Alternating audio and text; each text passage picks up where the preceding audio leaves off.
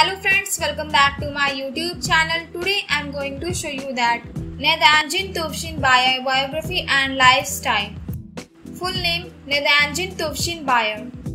Born on 1 June 1984, age 37 years. Height 1.76 meter. Weight 115 kg. Country Mongolia. Sports Judo. Nationality Mongolian. Tüvshinbayar Naidan is a Mongolian judoka.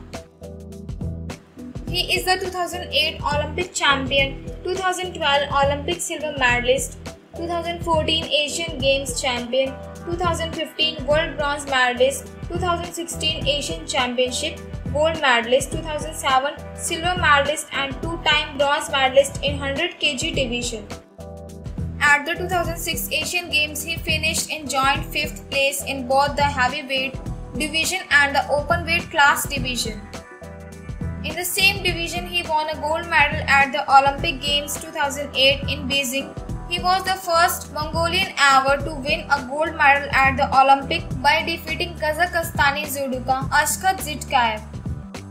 On 14 August 2008, he was introduced as the state honored athlete of Mongolia as well as a hero of labor. At the 2012 Summer Olympics in London, he won a silver medal, becoming the first Olympic multi-medalist from Mongolia.